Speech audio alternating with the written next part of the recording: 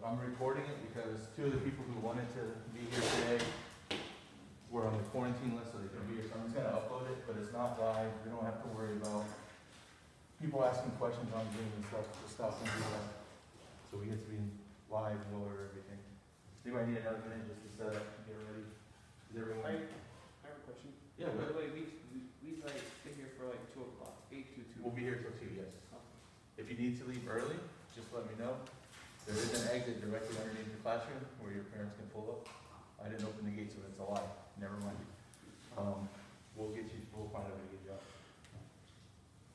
Um, but yeah, eight to two, uh, we'll do these fifty slides, we should be done around twelve, twelve-thirty, and the rest of the time will just be question and answer time. Sign sheet, everyone but Devin signed in already? We can keep these, right? Yeah, those are for you to take home. Um, how many extras do we have? Just the one, two? If you make a mistake and you wanna scavenge parts off of the extras, that's fine. Oh, Renee, those are all broken calculators, I'm the ones on my desk are the ones that. Yes, ma'am. Sorry about that. Those are all I'm trying to fix this next week. Guys, this is also the calculator for the EOC, so if you don't have one at home, and you want to practicing with this one, come on up and grab one. If you want one. Anybody else over here? I got, Reed's got her own, Becky's got, Chloe, you got one? Yep. All right. So I'm gonna use one. All right, just ease into it, start with topic 10, then we're going to go to topic 8. Topic 10 is going to be the most common question type on the EOC. Topic 8 is the third most common question type, but the number one question students ask me to go over, so I put that one ahead of the next topic. We're going to cover pretty much every topic except for topic 9 explicitly, but I will cover topic 9 while talking about topic 10.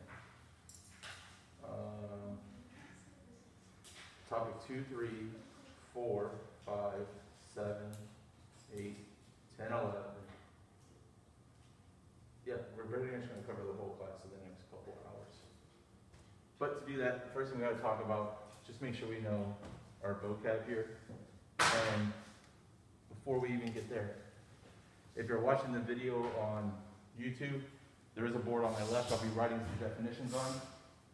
I'll upload a picture of it so you can reference it as we're going, but I can't show it both boards. Does anybody know the definition of a line? I know this sounds really silly to start there, but, um, It's when like there's a lot of points in a row and you can and stuff, and sometimes they go forever and sometimes they stop and stuff. Okay, we're done doing the whole. So, a line is a collection of points. Um, let's get my hand back together.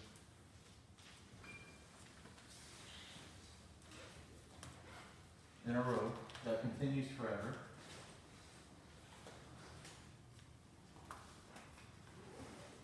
Now, Some other key parts here and pretty much covered every special case that we're gonna need to know. So the word line means it continues in both directions forever. So we put this double-headed arrow here. A ray is a line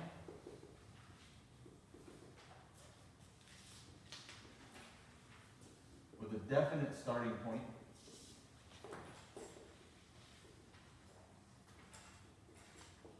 that continues in one direction forever. Who hasn't signed the? Oh, I. Just a couple. Three, you thought we on camera. That was way too late, don't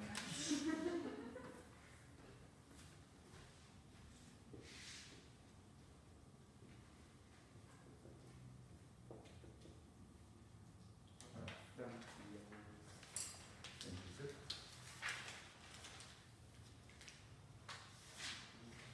So array has starting point, and then it continues in some direction forever, so this is how we draw it. And then if we're talking about a ray, this is ray AB that starts at A. This would be line CD. Now, C and D are somewhere on this line, but they can't possibly be on the endpoint because, well, there's no endpoint to a line. So if I'm drawing a line, I'm gonna have to do this. And I just have to show that C and D are somewhere on that line. Now this kind of goes back to what you did in algebra one. You pretty much almost exclusively dealt in lines that continued forever. And then you could find the slope between the two points and that'll tell you how the line continues forever. And then our last one, which is the one we're gonna primarily use in this class, is the line segment. That has two defined points, and the beginning and the end.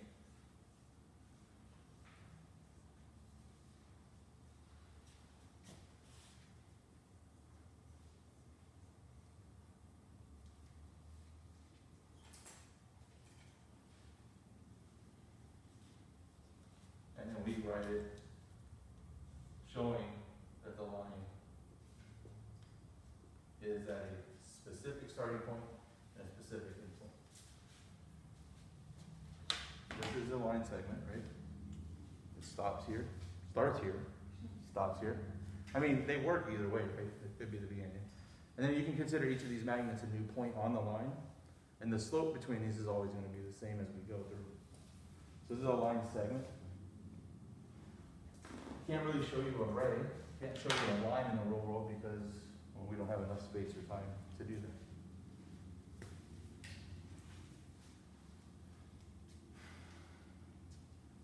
So with that, would you call this a secant ray, line segment, line, what would this be here? Because we have to start by looking at, well, how is it expressed with the endpoints? What does that show us? Is that a line, a line segment, or a ray? Yeah, it's a line, right? It just continues in both directions forever. The difference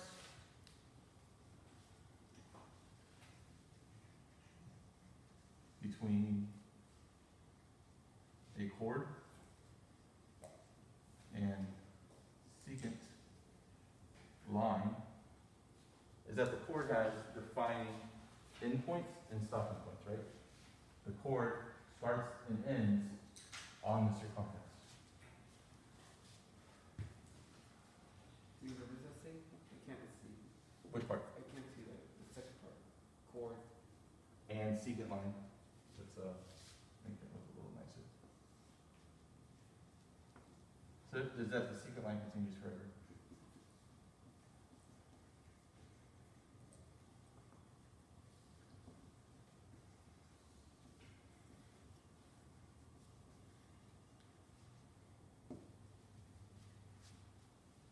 But at the same time, notice that both only touch the circle twice.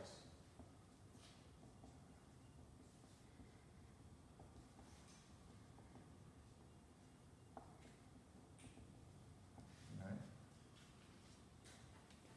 Now, by this definition, what would you call the diameter? Is that a ray, a line segment, or a line? Line segment. This is a line segment, right? Now, is the diameter another one of these as well? The diameter actually plays two roles here. The diameter is also a chord because it both originates and ends on the circumference. So today, or all year, you've heard a bunch of times special cases, right? And you're going to see that a few times today. The special case is where we have a word like chord, but we have something much more important that also satisfies the definition of a chord in this instance, right? The diameter. But this has so many more applications. This is a special kind of chord. It has a further definition that we call it a special case.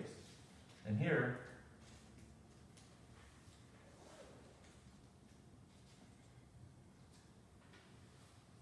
a chord is the diameter if it passes through center.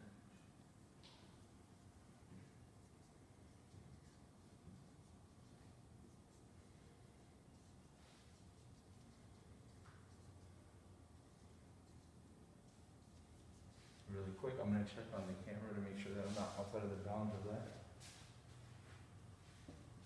Oh, way outside the bounds of that. There we go. No, yep. Okay.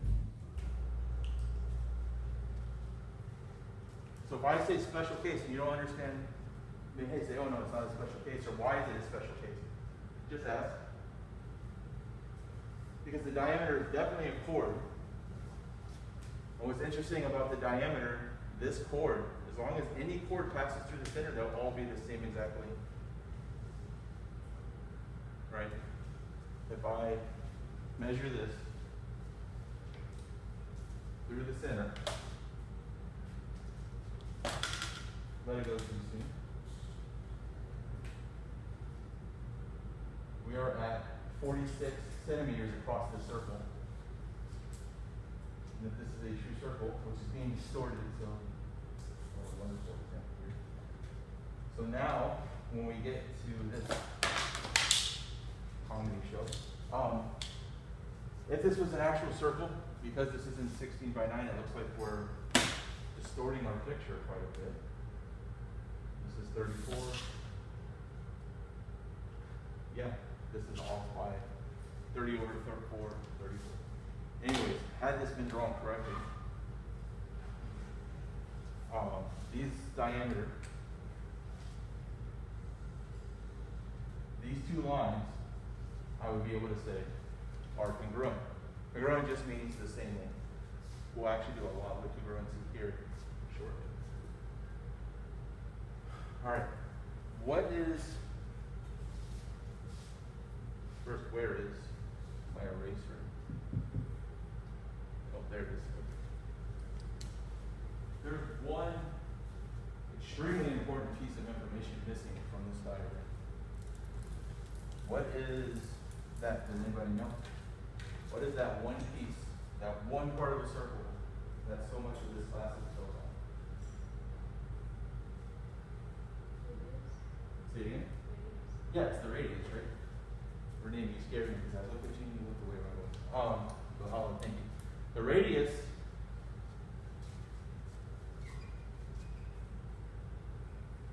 equal to one half times the diameter. So that just means if we know this goes straight across the circle and this is the center of the circle, this is the bisect, this is the midpoint. If this is the midpoint, then each side of this line where it cuts is equal, and the radius is going to be equal to the radius no matter where I draw it on this circle. So if I were to tell you that this is six, and I drew this line from here to here, for room, how long would this green line be? Six, perfect. Uh, Sydney, what about this green line? What would that be? What's, what's the length of this line? Six, yeah. We can keep doing that. There's an infinite number of these. Every one of these is going to be equal to six. So I'll see where this goes. Alright. Now, let me ask you this question. Does the radius fit any of our other definitions like chord, secant line? Is that any of those? Think about that for a minute while I just catch up on this slide.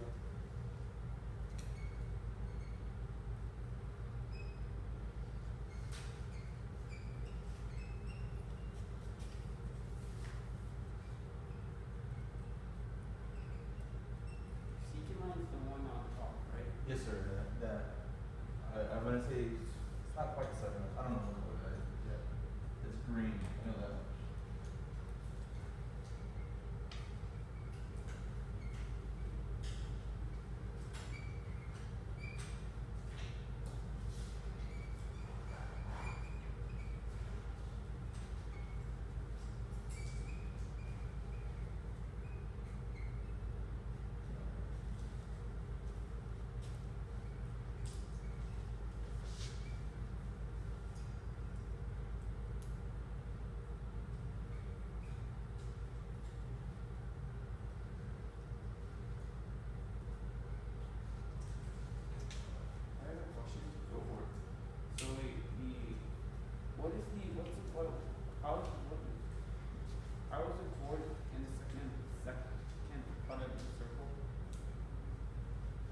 This one and this one? Yeah.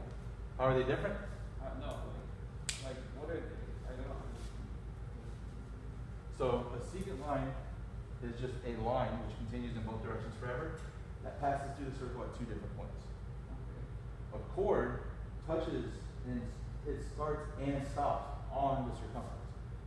So if I were to look at the secant line and I were to say find a chord, find the length of this part, would see that it would touch here and here, right?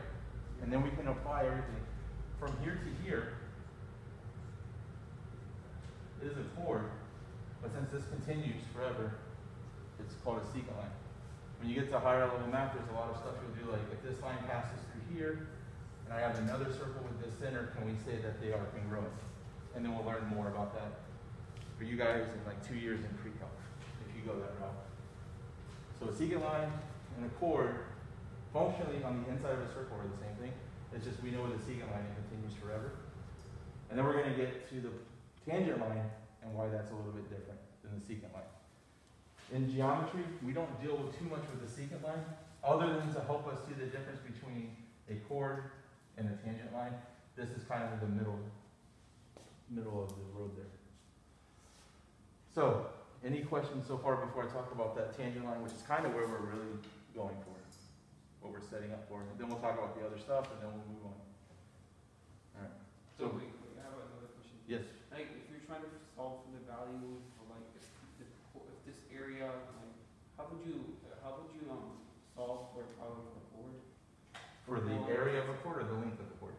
Uh, length of the board. That's actually coming up in just a few slides. Um, let me do this first. And Bruno, I've got a question for you, sir.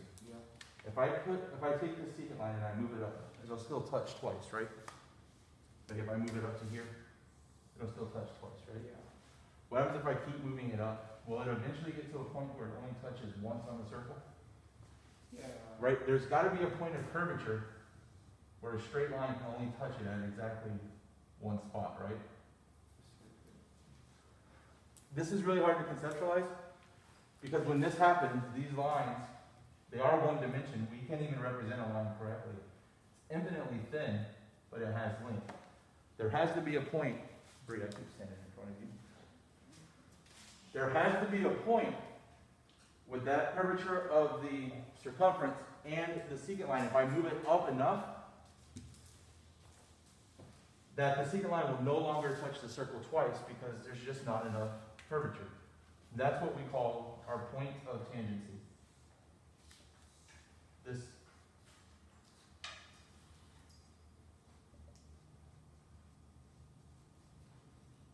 This touches the circle only once.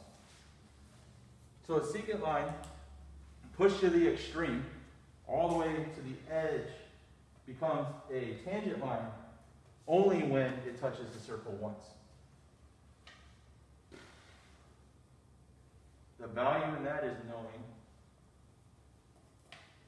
that on a coordinate plane, whatever, let's call this, well, this is point T.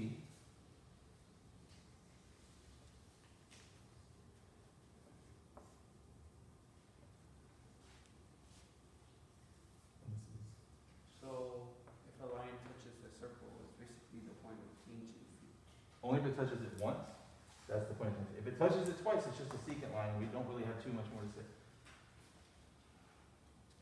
So what I'm gonna write here is that point T and line segment, or sorry, line PT only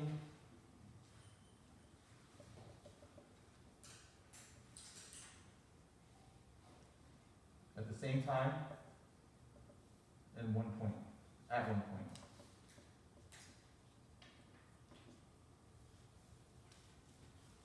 And that is T.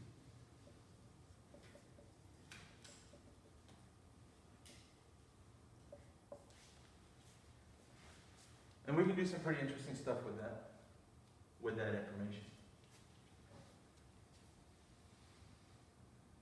Now, I don't want to jump ahead of you guys. I don't want you guys to fall behind what I'm going to show you next. Has everyone had a chance to copy down? Raneem, I know you usually have really good notes, so let me know when you're finished copying it before I go to the next thing. And if anyone has questions before we move on, make sure we have questions. We've got plenty of time today. If we don't have questions, we'll be done by eleven, and then we'll have three hours of Q and A. Will you see these problems a lot in the EOC? Yeah, so the way this whole presentation is set up is what I start with is what most of the EOC consists of. And then as we get towards the end, you'll see less and less of it. And then at the very end, it's just gonna be things that you're gonna need across everything, kind of as a recap. Hmm. This is forty percent of your EOC are these types of questions. So, whenever like the X for like the length, like whatever X about the length of the curve. Oh, all the time, yeah. So Bree's question, do you figure that out? Bree's question is, will it ever ask us to find the length of a chord?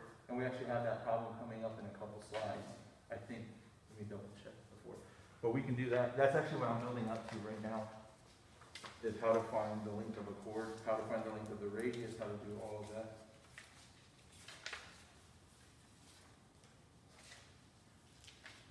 That's perimeter, but we need to find the length of that. Yep, so when we get to this slide, just remind me to add one number to this and we'll find the length of the chord. Alright, Renee, good? Alright. So, if I were to have this on a coordinate plane, you know, the x, y axis and all of that, this can be defined as, let's say the point, um, yeah, we'll put it zero, zero, right? And now Bree was asking, how would we know the length of a chord? Well, from this, if I know, let's do this. Because this is huge to know. The radius and the point of tangency meet at 90 degrees. So I'm going to actually put that on that board while you guys write that down.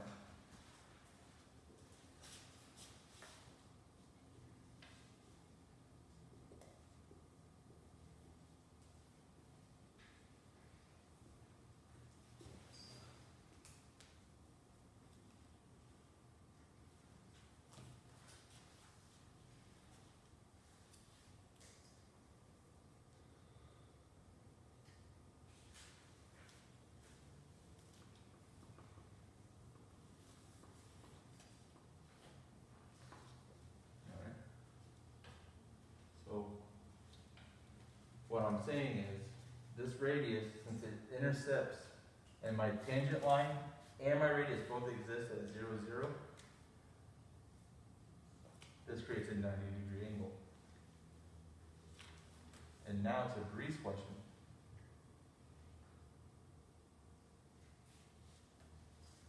Bree, are you okay with me being a little cheap on this one right now and saying that we know the diameter is a chord, right? And if I wanted you to find the length of the diameter, we're gonna do that before we move on, is that okay? Okay. So, a couple things fall out of this. Anytime two lines meet and they're perpendicular, and I'm trying to find the length of a side, the first thing I wanna go to, every time, is ask myself, can I use the Pythagorean theorem? That is a squared plus b squared equals for this one, we're gonna do a couple of things we're gonna add, and then we'll get to work on it. So let's call this diameter chord AB.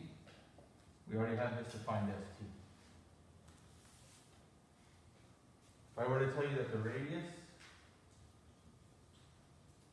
is three, and line segment TA. Remember, this means the length of T, line segment TA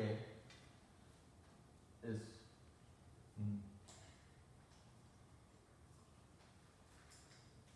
Yeah.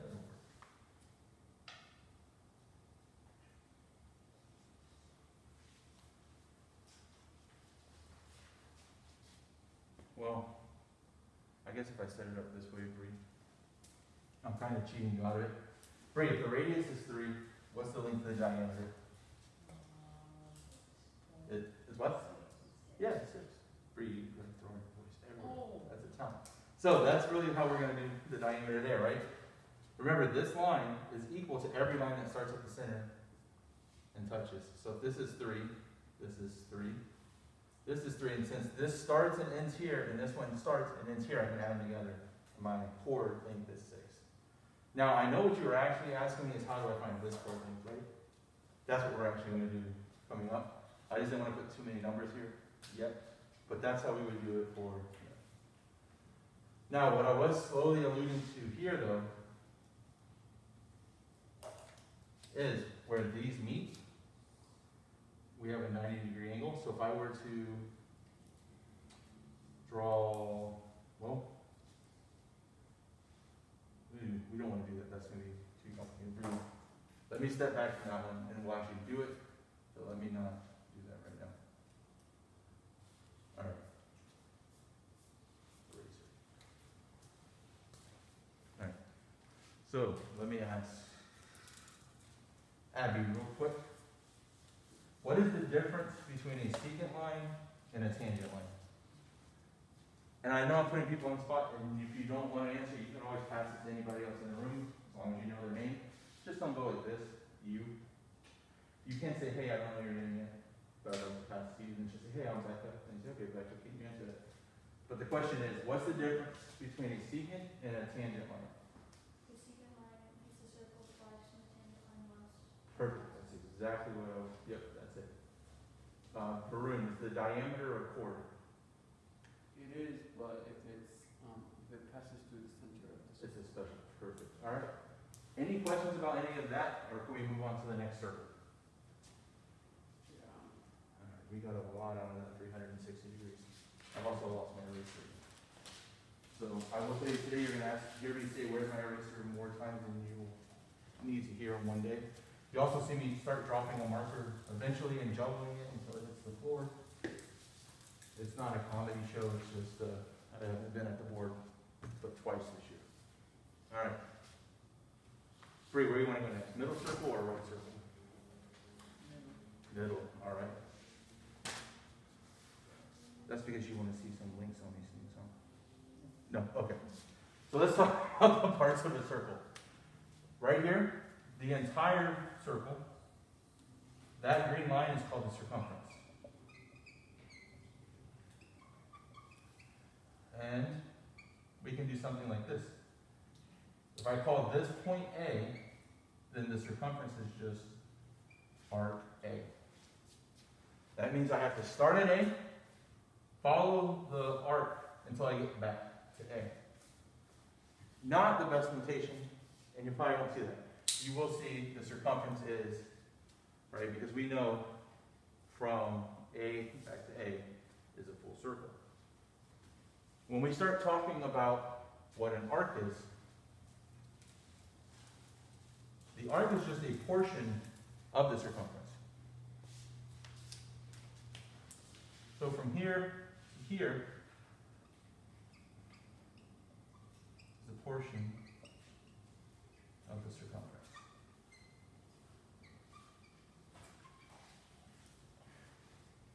And from here, we can pretty easily kind of derive the equation for arc length when it's in degrees, based off of just this picture.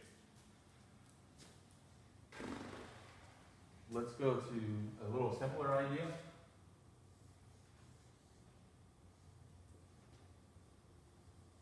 How would you guys write this as a fraction? There's three boxes. I filled in one, so what is that as a fraction? It is one third, right? This is the part shaded over the parts available. We can do the exact same thing here to find out the length of an arc by taking the, oh, let's call it arc measure, because that's what we're gonna say anyways. And dividing that by, go to the sum.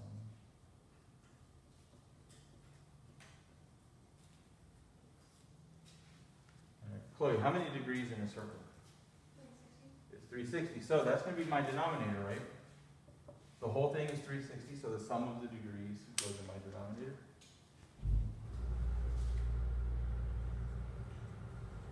But I'm only looking at this part right here. that we'll call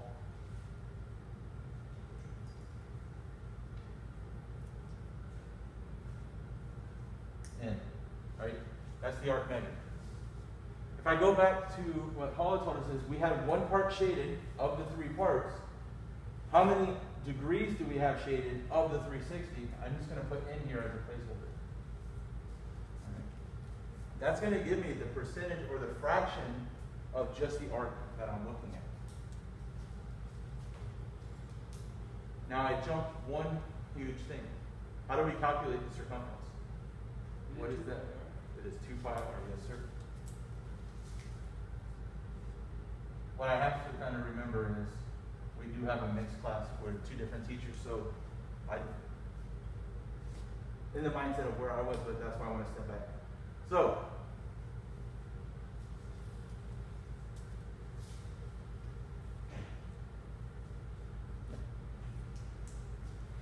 if I know that the whole circle is 2 pi r, but I only want to know this part right here in black. Well, this part could be represented as n over 360. And Portion equals n over three sixty. say it again. The portion of the circumference is, um, could equal to n over. That's exactly, yep. So my question is, what I'm saying is, this is how much of the circle. And the reason I'm writing that instead of saying it, because sometimes we miss it. What does the word of mean operator-wise? Add, subtract, multiply, divide. It means multiply, right? How much of this do I want? Well, here's the part, the portion that I want. Here's the whole thing. This is telling me to multiply. So how much is replaced with n over 360? Then we have of multiply. The circle is in 2 pi r. And that is how we would find the arc length, which we're going to practice again and again. But if you, in my mind, which was about to be all over the floor if I went down, in my mind, it's easier for me to think of it this way. This is just a portion of the arc length of the whole, whole arc. So I can take the percentage, which is what this is, times the whole thing, and it's going to give me that length. Room. How do we, um, I have a question, like, Yeah, go for it. instead of, um, having over three sixty, why is it over what? Why, why do we have to have it like under three sixty? Right here. Yeah, So, how much in the entire circle? three sixty. So let me ask you, if I wanted the whole circle, what would my fraction be then? It'll be three sixty or three sixty, And what does that simplify to? one. So we're looking at one whole circle, right? But, like, But, go ahead. um, like, how, what happens if like the circle's not three sixty? Do we just put it under? We All right, that's a good question. He said, what if the circle's not 360? And that's going to be something we're going to talk about in topic six. But when we have a polygon, what are some rules here? They have to be closed. That means, mm, let's put it over here.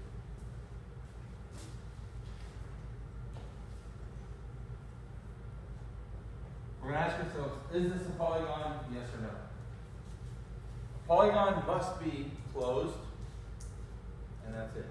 We can't leave anything open. Is that a, is that a polygon? Yeah. Yeah, it is. It has more than three sides. Also, the number of sides must be greater than or equal to. So, one, two, three, four sides.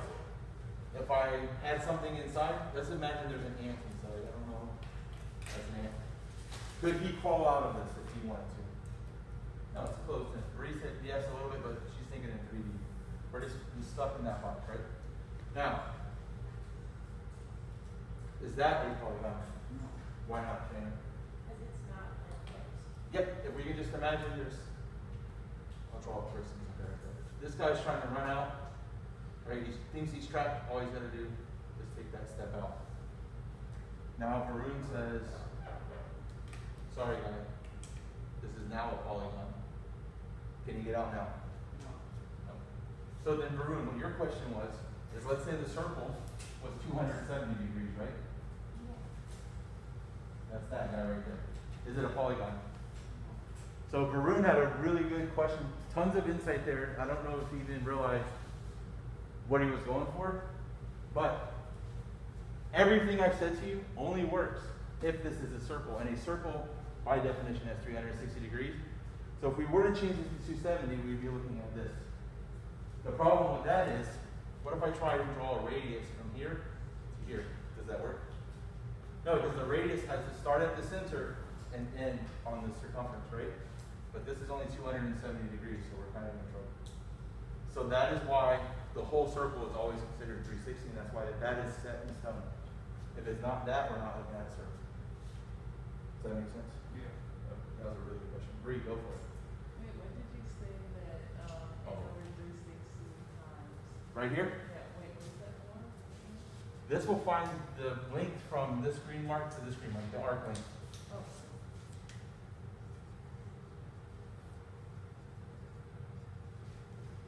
And what I was saying too, because Varun brought up a really good point here, is for the area of a sector, if I were to color in this entire circle, that's 360 degrees, left, right, top, bottom, 45 degrees, everything's colored in, right? That means I've covered 360 degrees. But here, I only want that portion. So again, this is n over 360. Something slightly changes though. If I want the area, what do I have to multiply by? I'm no longer looking for the portion of the length here. I'm looking for the entire portion of this defined area. So instead, oh, I don't have a backlight anymore. I rely on that too much. Sydney, what would you do? Why would you do pi r squared? And I'm not saying like you're wrong. I just want to hear your insight. Um, well, instead of trying to find the length of the area, we're now trying to find the area that n is taking up. That's exactly what we're doing. Yeah. We're switching now from one dimension, 2 pi r, to pi r squared. So I want the total area of the circle times the percentage of the circle that I'm actually looking at. So let's say this was a little neighborhood, right? Sydney lives here. I live, the Fimbel one is here. My daughter back there moves in here and here, right? Sydney has to go and she wants this beautiful green lawn. So she's paying somebody to take care of it. If she knows the total area of our block, but she only wants to pay for enough service to keep her area green because we should be, right? You would calculate it by saying, well, if the whole block is this many square feet, I only want to portion my quarter of it. So I'm going to do one fourth times the area, and that's what I should be contracted for. Now, So we, with this code, basically, you can just, um, I have a question too. Yep. Just like, um, uh, do ninety over three sixty, because this is like one fourth of the whole circle. Varun, that, yeah. Varun heard me say that Sydney owns a quarter of the block, right? He said, so then wouldn't this just be 90 over 360? Yeah, am my hypothetical there, Sydney owns one fourth, which is 90 times the area, and that's what she's going to call the maintenance people, and that's what she's going to contract for, one quarter times pi r squared of the block's total area to take care of. And then when, you know, Bree comes through the neighborhood. She's like, wow, this is a nice looking place. Ooh, no good, no good, no good. We're leaving. We're not buying here. Right? Because Sydney takes care of it, but she doesn't want to overpay, so she calculates it that way. Now, Sydney, let me ask you this. Did you know this just from class when I was in there? Or did it make more sense when I said start thinking about the portion times the whole? Just new? Okay. So this works in every dimension. If we had a sphere and I colored in a wedge, you could do the same thing. You could take the volume times n over 360 and go from there and go right up the chain.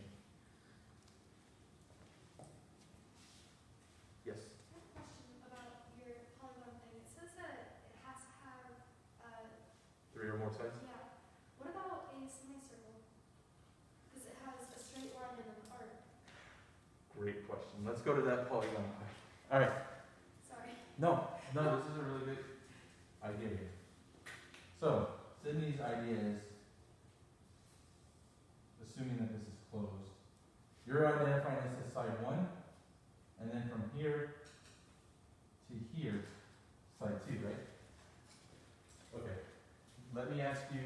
how do you define on this square the sides, The vertices. the vertices, right? Side is equal to the vertices. Perfect. Great. So we're on the same page. Same here, right? There's a vertex, we know it's a side. So you're saying, because there's two vertices here, it's two sides. Right? Count the vertices, that's the sides. Okay, now we're gonna go, and this is why I like it. Let me turn the camera just so I can make this point. Now that we know about the point of tangency, what does that create when it hits the radius?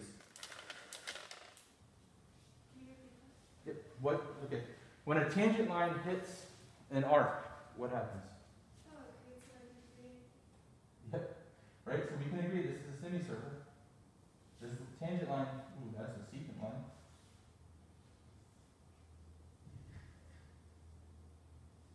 We definitely have a vertex?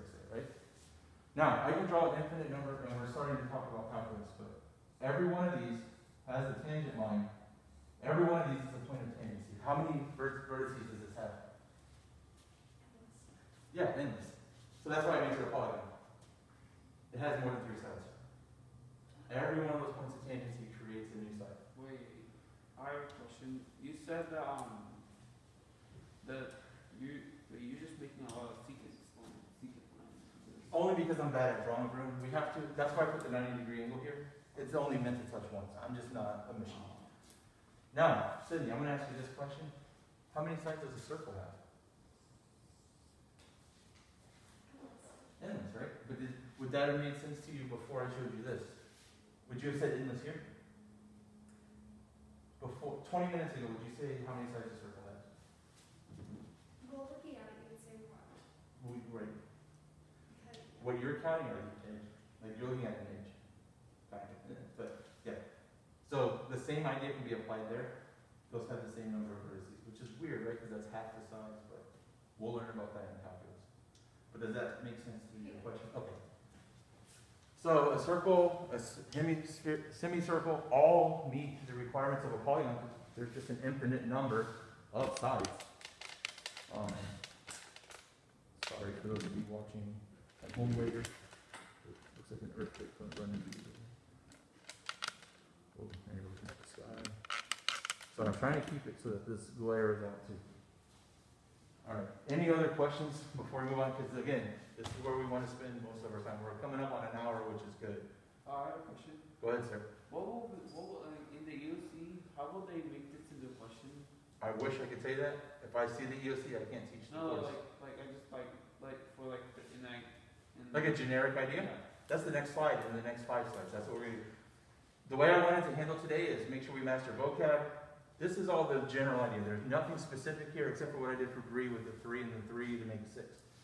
If we can get the general idea here, you'll see that the specific questions I'm about to ask should be so much easier, right? It's better to learn the big picture and then be asked how we do it.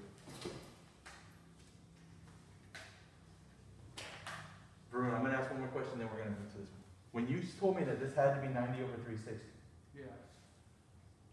yesterday morning, would you have been able to put that same idea together?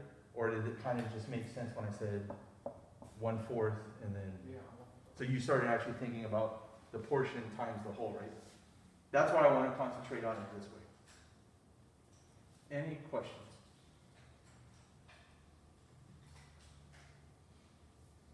You're looking a little overwhelmed? Do you want like a second to just process and, are you good? Uh, Yeah, you just, Oh, when I I'm good, I'm good. Okay, when you, when I say any questions, you kind of have like an eye roll and a sign at the same time. And, uh, um, one thing I try and do in my classes, make sure that you guys know I have more questions about what we're talking about than you do, and it's perfectly fine to ask. Alright. And let's get to the last one.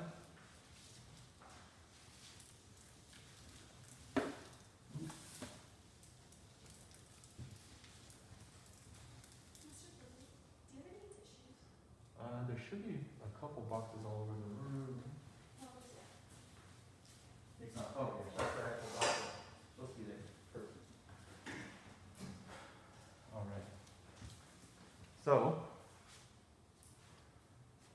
does anybody know what kind of angle we have right here? What's the name of that angle? It's a special type of angle. Abby. How did you know it was a central angle? Yeah, I mean. The bird's head.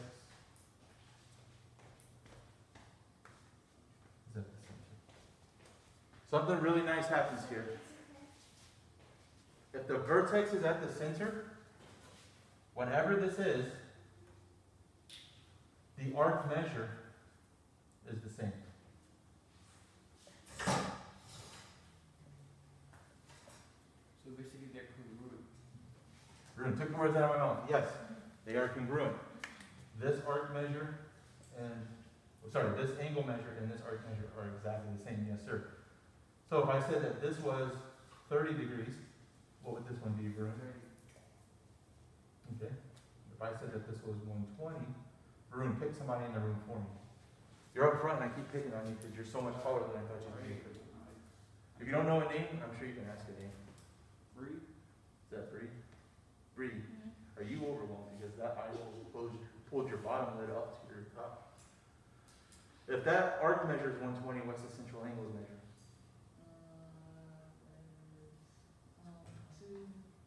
Nope, that's inscribed. You're way ahead of us. Any central angle is always the same as the arc measure. So if this is one twenty, this is one twenty. Oh my. God. Yeah. There's no right angle. This one, oh wait, there's, this is the right triangle. Varun is saying this is, looks more like a right angle. Is that what I heard, sir? It looks like a right angle. Okay, well, let's do that. Varun, pick somebody for me, since this is your question. Um, I guess, I,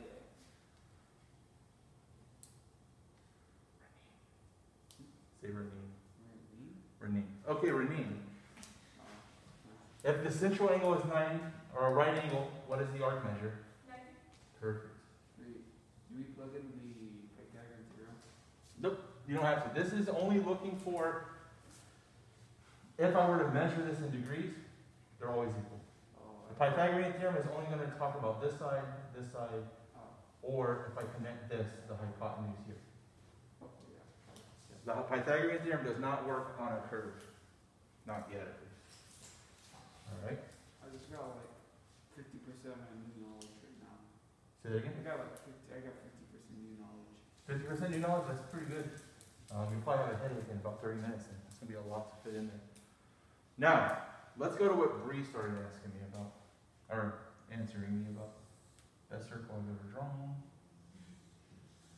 Bree, what kind of angle do we have here? Do you know the name of that guy? I'll start getting, we'll play Wheel of Fortune. You said inscribe.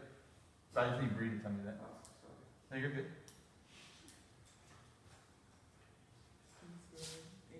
Inscribed angle, perfect. Now, the inscribed angle,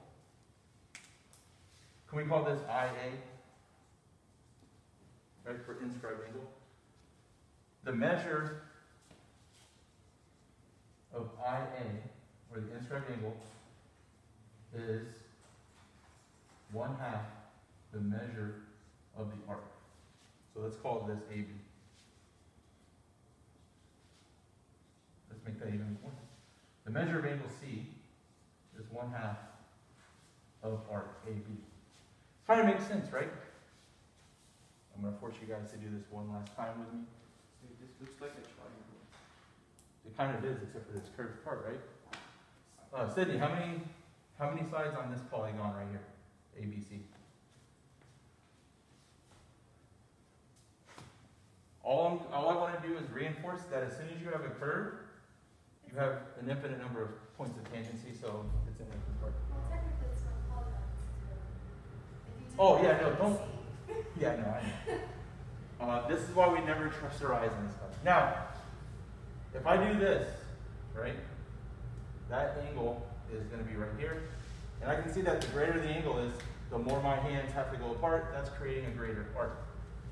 So it kind of makes sense that anything I do here, let's not call it because that's central angle. Let's just call it A. Anything I do to A, this part out here is going to be 2A degrees.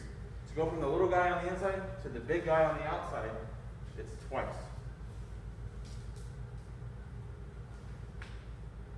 So, Raneem, I believe you answered the last question. Pick anybody you want for me. Don't say Varun. I just saw you look at the back of his head, and I picked on that poor guy so many times. um, Abby? All right, Abby. If angle A, or if the measure of A is 40, what is the measure of arc AB? 80, perfect. Because here A is 40. 40 times 2 is 80. Now, because we're able to do this, if this is 2A and this is A, if I divide this by 2, don't I go back to A? Right? So the other thing we can say is the measure of arc AB is 2 times the measure of angle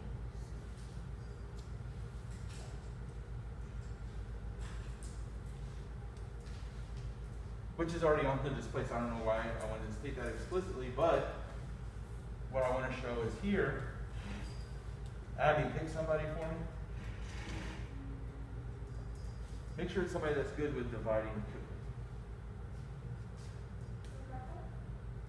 All right, Becca, if this out here, AB is 130 degrees.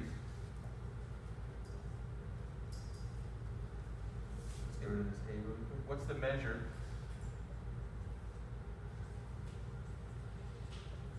And let's introduce conditionals. What is the measure of angle C?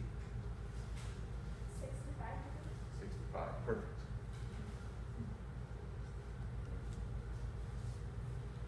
So the way I remember this, if I know that a central angle, we have n and n.